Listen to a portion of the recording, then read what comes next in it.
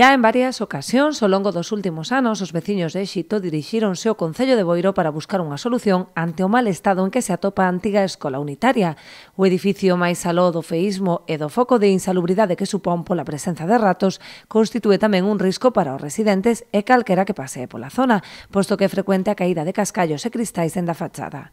Os veciños temen que poida acontecer unha desgraza posto que o inmoble é frecuentado por mozos da zona, xa que doado acceder ao seu interior. E isto aquí é un peligro, porque aquí veñen grupos de rapaces, métense dentro, suben arriba, os cristales xa vedes como están, e, e isto así, isto non pode estar. Nos xa levamos tempo a dicilo, pero nin uns nin outros. Entran e salen todos, pero aquí isto sigue.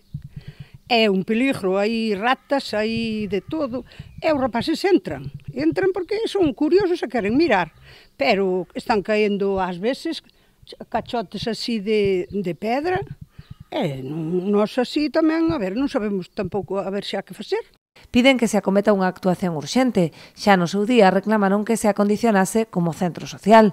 De non ser posible, prefiren o seu derrube para evitar riscos innecesarios. Ou que o tiren ou que reformen. Si, pero nós xa lle dixemos de facer aí algo para, para a xente maior, para que a poñerse aí, aunque sea solabrisca, ou algo, algo, pero que o aquelara. Pero non houve maneira de ninguna cousa nin outra. A, a, esculpa, a desculpa que deron foi que non valen os pilares, que están caendo, como se ve, si é verdad que caen, pero eso ten que ter unha solución. Hai que, hai que sacalo, hai que facerlle algo. Eh, se non, se non serve, que o tiren. Pelo menos é que é assim um sítio, que façam que seja um jardim, ou que façam o que, o que seja, pero que o quitem.